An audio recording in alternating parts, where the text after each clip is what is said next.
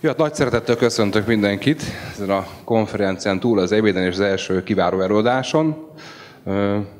Én Fróma Richard vagyok, és a részben a ELTE Társadalomtudományi Kar szociológiai doktori iskolájában vagyok végzős doktorandusz hallgató, és a témám, a kutatásom nem más, mint maga a gamifikáció, a gamification, a játékosítás, ami Másrészt odáig érett már nem csak kutatás, hanem kutatásfejlesztési szintűvé a téma, hogy létrehoztam több mint egy évvel ezelőtt a Játékosi Kutatóközpontot, hogy az egész játékosítás, gamifikáció területét ne csak megvizsgáljuk, hanem megnézzük, hogy milyen lehetőségek rejlenek benne, és bizonyos fejlesztések, megoldások kerüljenek. Gyors kérdésem az elején, nagyon fontos, hogy hány a gamification kifejezést? Hú, ez egész jó, köszönöm szépen. Oké. Okay. Ez olyan fontos, mert, mert bár mondjuk sokan hallottak a kifejezésről, de maga a tartalom az nem biztos, hogy ugyanaz, amit gondolunk. Majd szó lesz arról, hogy, hogy maga a gamification kifejezés tartalom az változóban van, mert az első hype az első időszaka után azt le, lehet látni, hogy, hogy megújulásra szorul a, a gamification a magyarázata. Ahogy a Sándor mondta a felvezetőbe itt a, a, az ebéd után, most a softos része következik, és én előre jelezném is, hogy, hogy nem feltétlenül a szárazabb megoldások, önmagában lévő folyamatokat mutatnám be, bár az is lesz, hanem szeretnék egy alapozást, elsőbben ilyen társadalomtudományi, vagy pszichológiai, szociológiai oldalra egy olyan alapozást mutatni be, ami majd látni fog, láthatóvá válik az, hogy maga a játékosítás és a gamification az egy, az egy nagyon fontos olyan társadalmi és pszichológiai folyamat, ami, amihez majd viszonylag veszélyre kell visszamenni. No, akkor kezdjük is bele. Azt hiszem, ha jól tudom, akkor Sándor 20 percem van? Jó. 18, jó van, oké. Okay. 17 és fél. Jó, hát akkor ugye ezen a konferencián vagyunk, és nagyon örülök, hogy a téma mindenképpen terítékre került az ICT Day 2015-es évű konferencián, és mondtam, hogy nagy hangsúlyt fektetnék arra, hogy, hogy mi az alap, mi a háttér tudományos módon, hiszen ö, sokszor, amikor elindul egy, egy hype, elindul egy, elindul egy folyamat, egy trend, néha nagyon rohan előre a világ, és nem tudja, hogy pontosan mi is van mögötte. Én ezt szeretném ezt a mögöttesét megmutatni, és hogy ne a beszéddel kezdjem, hanem egy videóval, és remélem a hang az hallatszani fog.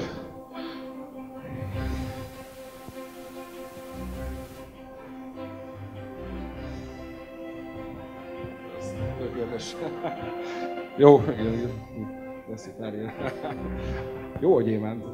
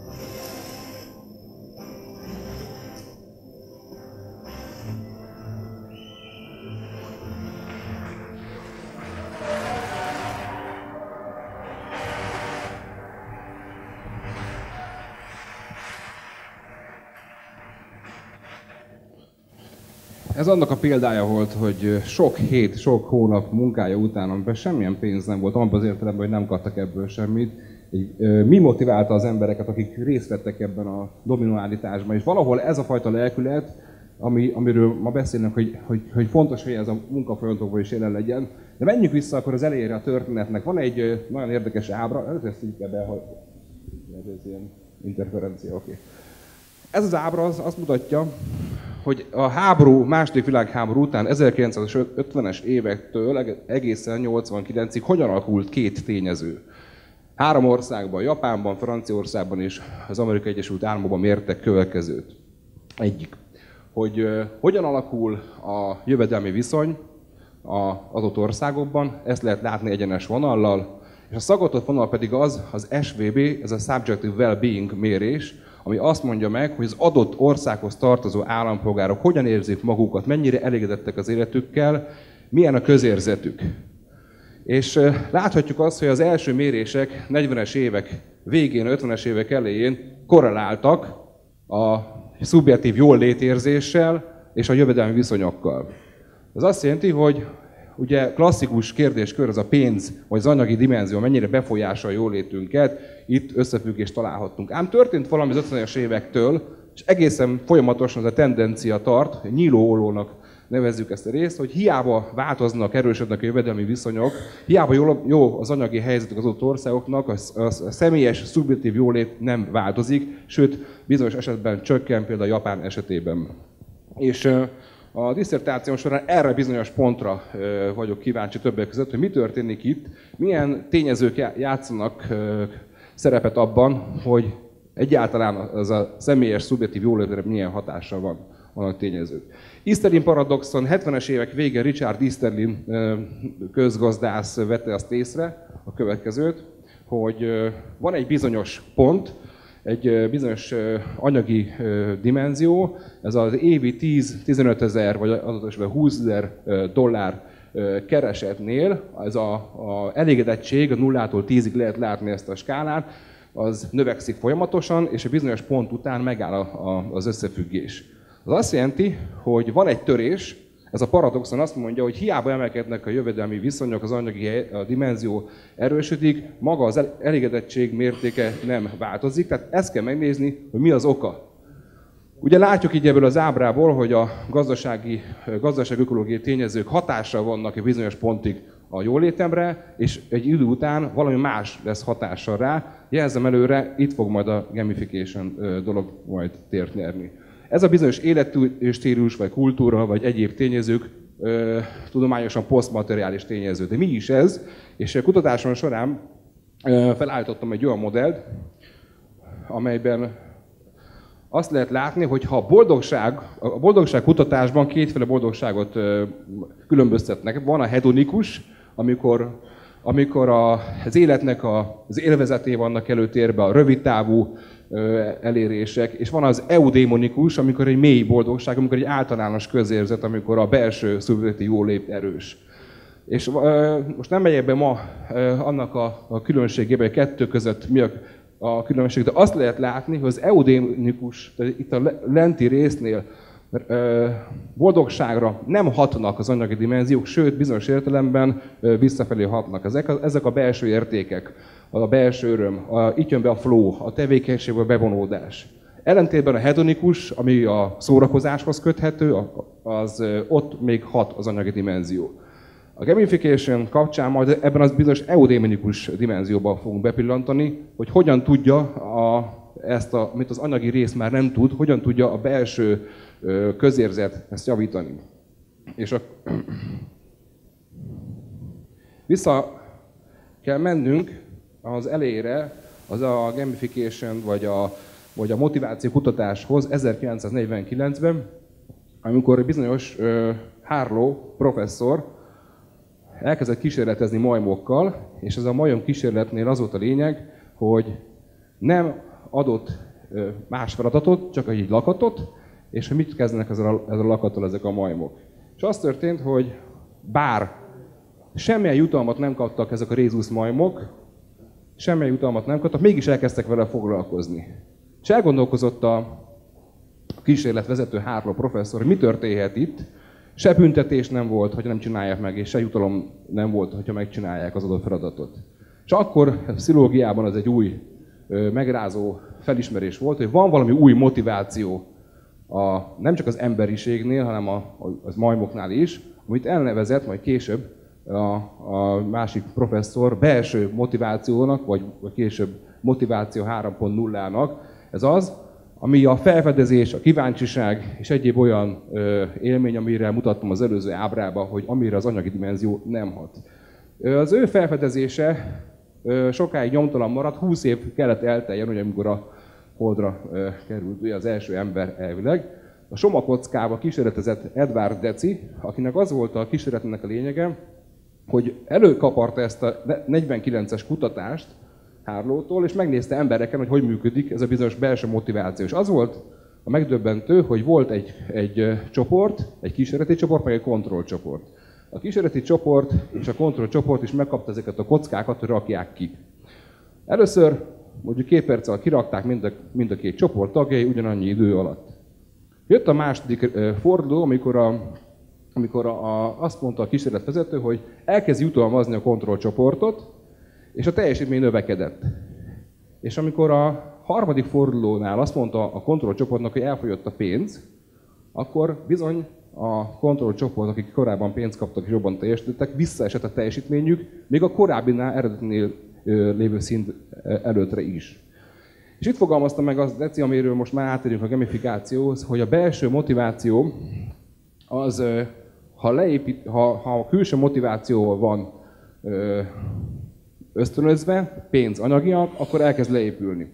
És ezért, ugye ennek a biológiai folyamata most időhiánya nem megyek bele, ami nagyon fontos, hogy Daniel Pink megfogalmazta az emberiség történetek három korszakát motiváció szempontból, az 1.0, a 2 és a 3.0. Az 1.0 az az ősi idők, amikor nagyjából hasonlóan a Maslow piramishoz, amikor a túlélés, a drive-ok, az égség, az omúság, az alvás, egyéb motivációk kell kielégíteni. Ez az alap. A, a 2.0 az meg ugye az a bizonyos jutalmazó büntető rendszer, amiben most is élünk, hogy ha nem csinálsz meg valamit, akkor megbüntetünk, szankciók jönnek, ha meg, ha meg valamit megcsinálsz, amit elvár az iskola, a munkahely, akkor jutalmazunk. Itt állok meg egy pillanatra a gamifikáció kapcsán. A gamifikációnak az 1.0-nak vezet része, itt állunk most is. Most ma, még amikor gamificationről beszélünk sajnos, még a jutalmazó büntető rendszer dihotómiája alatt működik. Hajlamosak vagyunk azt hinni, hogy ha adunk jutalmakat és, és badge és, és mindenféle szinteket, akkor a munkavállaló biztos, hogy be fog vonódni. Igen, egy darabig, és utána emlékezünk a kísérletre, vissza fog esni. Viszont itt a motiváció 3.0, és itt a lényeg, hogy van valami, amit a 49-ben és 69-ben megfogalmaztak a professzorok, egy belső motiváció, egyfajta flow élmény, és így fog majd Csíkszemélyái kutatása és felismerése majd bekapcsolódni majd a gamifikáció 2.0-ás korszakba, hogy maga a tevékenység okoz örömöt, nem kell itt fizetésemelést adni, nem kell szankcionálni azzal, hogy kirúgunk valakit, hanem egyszerűen olyan tevékenységet kell biztosítani az adott munkavállalónak, amitől ő önmaga a munka, a tevékenység, a munka céljaiért érdemes, hogy bejárjon dolgozni, hogyha nem ilyen plénumet adnék körül, hanem, hanem oktatási intézmény, akkor azt mondanám, hogy tanulni. Tehát ugyanaz a folyamat működik. És akkor nézzük is meg, hogy mi is a gamification, mivel sokan ismerjük ezt a stokholmi lépcső dolgot, ezért gyorsan át is ugrom, csak annyi, hogy aki nem ismerné, ugye itt azért szimbolikus a gamificationre és a leglátogatottabb videó ezen a téren, mert ugye itt a mozgás örömét hozzák vissza úgy, hogy, hogy játékosan a lépcsőkre mindenféle zongora hangokat szerelnek rá, és még korábban a statisztika azt mutatta, hogy a mozgó lépcsőt használták többen, és alig használták a lépcsőt, ez az egész kísérlettel megfordult. Jó, most nem akarom ezt a videót levetíteni idői hiány, de az a lényeg, hogy nagyon sikeres és népszerű lett ez a kísérlet. Csak egy picit úgy bepillantok majd egy a végébe. Itt van a századik, hogy mennyivel többen használták. Tehát azon túl, hogy az, az öröm élménye megvan, így lehet játékosan rávenni valakit arra, hogy mozogjon, egészségesebben éljen. Jó. És maga a gamification az nagyon leegyszerűsítve azt jelenti, hogy játékok és játékmechanizmusok alkalmazása nem játékos környezetben, aminek az elemeit gyűjtöttem össze, és mi idők szűkében állunk, ezért gyorsan akkor átfutom a legfontosabb részeket. Az egyik az nagyon fontos, az a flow élmény. Na, a játékokban is lehet látni, hogy a túlságosan nagy kihívással, nagy, nagy nehézséggel rendelkező játékok során az ember hamarabb hagyja az adott tevékenységet, ez esetben játékot, munkahelyi körzetben pedig magát a munkát nem annyira élvezi.